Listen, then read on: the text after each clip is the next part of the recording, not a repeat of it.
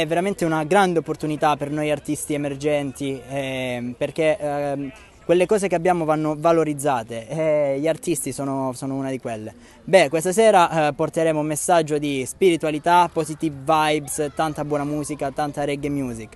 Il progetto è un progetto che eh, parte quattro anni fa dalla cameretta dei, dei miei nonni, eh, mi registravo tutto quanto da solo e adesso sono qui con, con, un bel team alle spalle che mi supporta, ci supportiamo, siamo, siamo fratelli. Quindi give thanks, siate sempre spirituali. Ragamatti sei so, Rutical Fam sei so.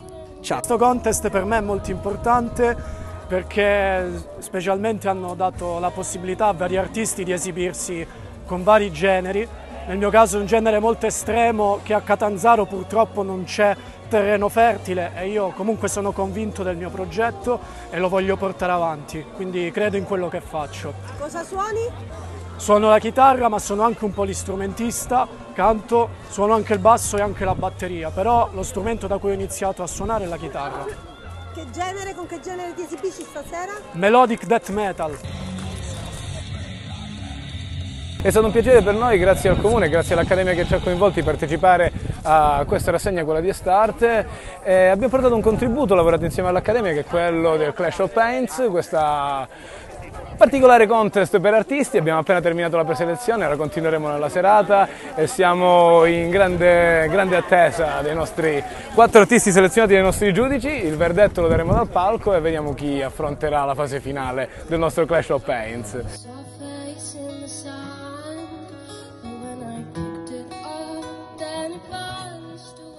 Sicuramente buona la prima per i nostri ragazzi.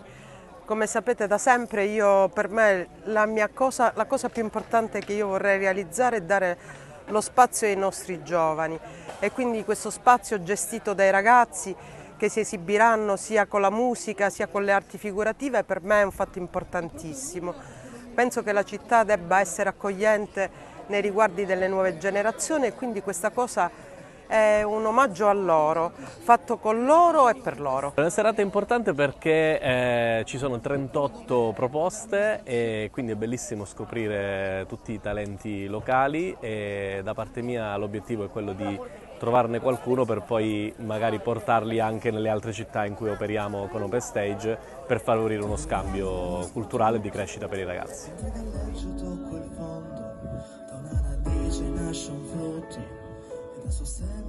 Di questa serata è, come diceva Ugo, è la predominanza della, della, della musica sul, sulla, sulla serata, il fatto che comunque tutti quanti stiamo ad aspettare le nuove leve di quella che è la scena musicale catanzarese e non solo. Quindi presumo che stasera ci divertiremo tantissimo e anche domani perché le proposte sono veramente tante maledetto sto vento che mi porta da te. Avessi avuto certezze, non sarei quello che sono. In questa serata, per quanto mi riguarda, è appunto dare spazio ai giovani.